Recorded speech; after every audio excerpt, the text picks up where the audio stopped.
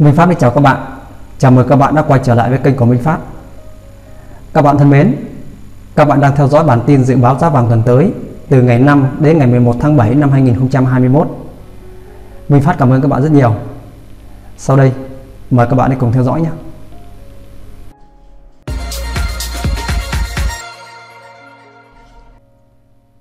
Các bạn thân mến, giá vàng thế giới đã có xu hướng hồi phục ở phiên cuối tuần sau khi đã giảm về vùng 1.750 đô la Mỹ ở đầu tuần.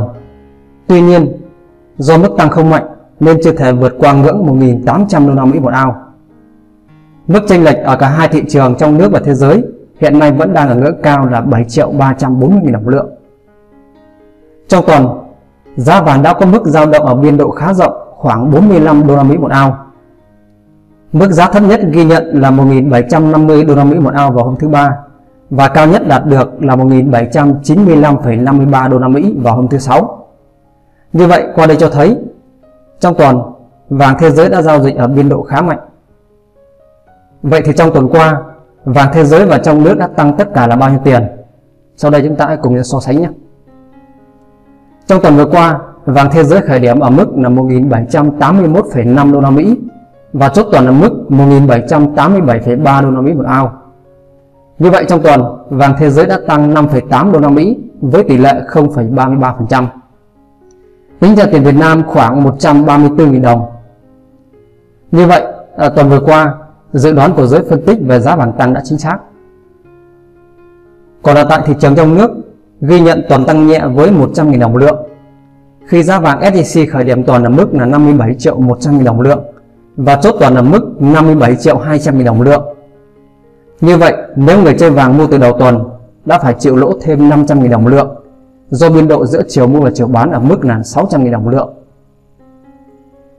Lượng vàng nắm giữ của FPDR, quỹ tín thác vàng lớn nhất thế giới hiện nay là 1.042,58 tấn. Trong tuần, quỹ ETF này giao dịch tất cả là 3 phiên với 2 phiên bán, tổng cộng là 3,2 tấn và một phiên mua là 2,91 tấn vàng. Các bạn thân mến, đó là một số thông tin của giá vàng trong tuần vừa qua.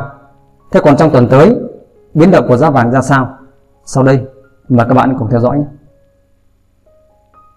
Theo khảo sát giá vàng hàng tuần của hãng tin Kitco News, tuần này cả trên phố Wall và giới đầu tư bán lẻ một lần nữa đã bày tỏ quan điểm lạc quan về giá vàng trong tuần tới.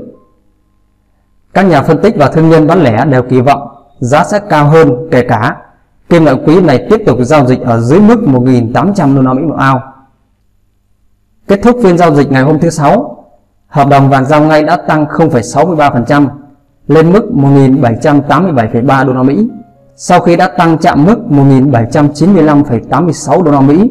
Đây là mức cao nhất kể từ ngày 18 tháng 6. Hợp đồng tương lai vàng giao tháng 8 đã tăng thêm 0,6% lên mức 1.786,3 đô la Mỹ. Sau báo cáo việc làm tháng 6 nhiều màu sắc, các thị trường sẽ tập trung vào biên bản cổ họp chính sách tiền tệ tháng 6 của Cục Dự trữ Liên bang Mỹ phép sắp được công bố. Nhà đầu tư sẽ xem xét liệu cảm xúc diều hâu tạo ra trên thị trường có khớp với những nhận xét đã được đưa ra trong cuộc họp hay không. Người đứng đầu mảng chiến lược toàn cầu của ngân hàng TD Security, ông Bart Milek nói với sản kích của New rằng các thị trường đang mong đợi ngôn từ nghiêng về diều hâu và bất cứ điều gì cho chúng ta biết rằng Quan điểm của Fed là ít dầu hâu hơn những gì mọi người đã định giá thì vàng có thể sẽ tăng lên. Kết quả khảo sát vàng của hãng tin Kiko News trong tuần này cho thấy trong số 13 nhà phân tích trên phố Wall có 69,2% quan điểm tích cực về giá vàng.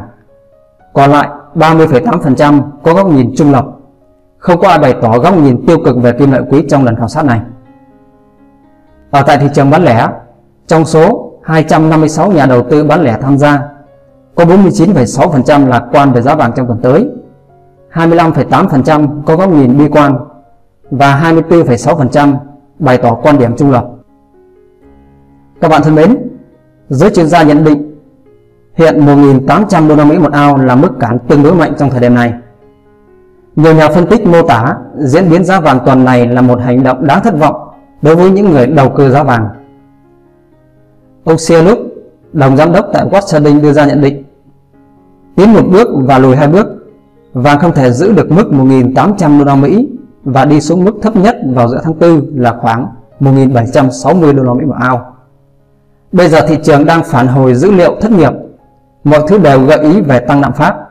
Nhưng vấn đề là sự phục hồi tốt cho đồng đô la Mỹ. Ông Mark Teller, giám đốc điều hành của Bannock Bull Global Forex cho rằng khu vực 1.800 đến 1.815 đô la Mỹ một ao sẽ là trở ngại đầu tiên đối với vàng vào tuần tới. Tôi mong vàng sẽ điều chỉnh cao hơn sau khi tìm thấy mức hỗ trợ gần 1.750 đô la Mỹ. Các chỉ báo động lượng dường như đang chạm đáy.